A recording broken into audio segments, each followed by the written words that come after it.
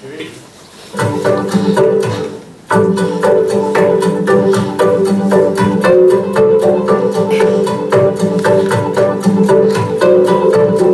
world is searching for an answer, a hope in a hopeless